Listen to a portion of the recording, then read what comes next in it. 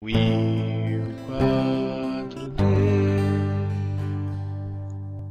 E aí, doideira Ragem, beleza? Will 4D aqui. Hoje é sexta-feira, dia de filmes. Eu não falei desse filme na época que ele saiu porque eu estava fazendo vídeos dos indicados a melhor filme do Oscar de 2015 e tava muito corrido porque era muito filme. E esse foi um dos maiores injustiçados do Oscar de 2015. Esse filme não foi indicado a melhor filme. Pode até não ter sido indicado, mas melhor ator merecia, cara. Que raiva! O Jake interpreta o Louis Bloom e o filme faz questão de deixar muito claro que esse cara, desde o comecinho, ele não é uma pessoa normal.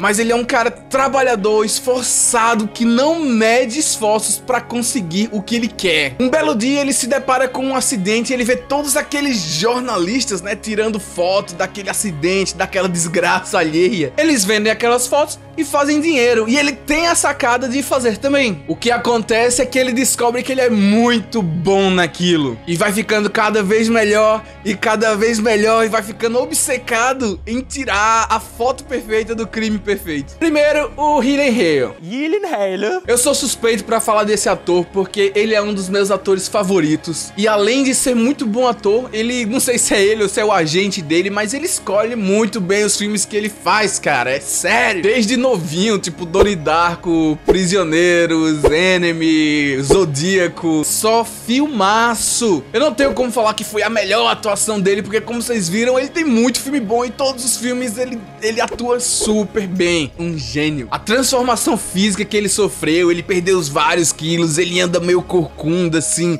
ele parece um bicho se espreitando na noite, sabe? Um abutre de fato. Mas o impressionante é a índole, a psique, a, a mentalidade que ele criou, todo o personagem. Você não vê ali o Jake, você vê o Louis, como ele manipula as pessoas, como ele calcula os mínimos detalhes, os mínimos detalhes, dá medo. O filme é tão bem escrito, o personagem do Jake é tão bem atuado que mesmo você sabendo que ele é um psicopata doido, louco, você entende o cara e, e, você se vê, às vezes, torcendo por ele um pouquinho. A relação que ele tem com a jornalista que compra as fotos dele é incrível. Vai se construindo uma confiança e logo isso evolui para uma tensão maior quando esses personagens percebem com quem estão lidando. Quase todas as cenas foram rodadas à noite e isso é uma coisa muito difícil de se fazer, principalmente em locais abertos para você pegar a iluminação perfeita, é, filmar bem. E foi feito divinamente, cara. O filme é, é, é lindamente perturbador. Ele descreve de maneira brutal o que acontece por trás desse mundo das notícias, levanta também as questões éticas da profissão, né? Lógico. O Luiz, ele é o tipo de cara que vai tentar fazer de tudo para conseguir o que ele quer. E aí é onde o filme começa a brilhar, é onde jornalismo, crime, todas essas coisas começam a se misturar. Se você ainda não viu o Abutre, pare tudo o que você está fazendo, assista, assista, assista. É uma obra de arte, é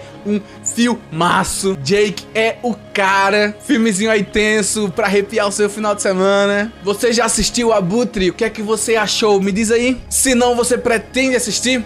Se você é novo no canal, cara, se inscreve. Toda sexta-feira tem indicação de filme. Segunda-feira eu apresento um anime. Quarta-feira eu dou minhas impressões sobre um jogo. É isso aí, maninhos. Abraço pra vocês. Beijo no fundo do coração. Uis!